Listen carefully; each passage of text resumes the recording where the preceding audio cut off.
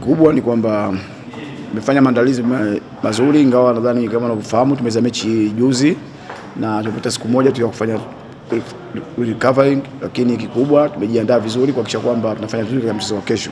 Tumejaribu kufanya masaisho hapa na pale ili tuone kwamba tupate matokeo mazuri.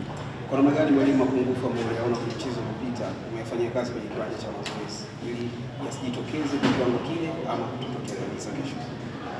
Ya mapungufu yalikuwepo kwenye upande wa attacking na kwenye upande wa defending, so nadhani najaribu kufanya masahisho ya aina zote mbili, upande wa kushambulia na upande wa kujilinda, kwa sababu nadhani ukiangalia hata goli ambalo tulifungwa kule tulifanya mistake, so tunategemea kwamba makosa kama yale yasijirudie, lakini kikubwa na kama nilivyokuambia, tumefanya masaisho kujiosha kwamba tunapata matokeo mazuri.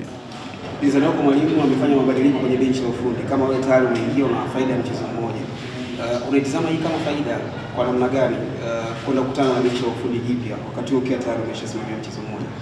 siwezi kusema ni faida au sio faida, kwa sababu hata mimi mwenyewe pengine naweza kusema pengine nina siku kama tano sita tu za ndani ya timu, so wote tunafanana. Kwa hiyo kufanya mabadiliko kwangu mimi nasema kwamba bado mimi nawaheshimu Tabora, wana timu nzuri na wako juu yetu, so tunaingia kwa tahadhari kubwa kuhakikisha kwamba tuna- tunakutana na timu ngumu, timu nzuri. Kwa hiyo tutegemee ndani kesho kuwa na mechi nzuri. Wanakwamba unaambia nini ambao wako Tabora pia ambao wanakufuatilia kwa sasa? Ah, kikubwa wa- wanapamba na wakazi wote wa Mwanza wa- watuombee dua, vijana wa- waamke salama hapo kesho wakiwa na afya njema, basi tukapambane, hatimaye tupate matokeo bora. Maandalizi yetu kama wachezaji kwa asilimia 75 yako sawa. Tumebakiza tu asilimia 25 ambayo ni kuamka salama kwenda kupambana katika mchezo wa kesho. Nazungumza nini Justin, uh, kwenye michezo ambayo mmecheza umekuwa mna mfululizo kupata sare na kesho dhidi ya Tabora, ninyi kama wachezaji mkiwa kwenye kiwanja cha mazoezi mkiwa mmepumzika, mnazungumza nini zaidi kuelekea kwenye mchezo? Uh, kupata sare ni pati ya mchezo, lakini ingawa inatuumiza sana kwa sababu mpaka saizi hatujapata pointi tatu tangia ligi imeanza, na tuna struggle sana kutafuta hizo pointi tatu.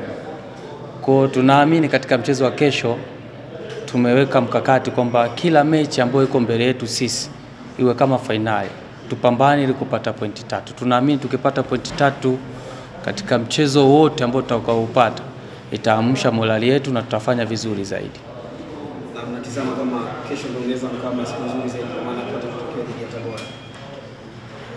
Naomba tuamke wazima, nadhani kila kitu inawezekana.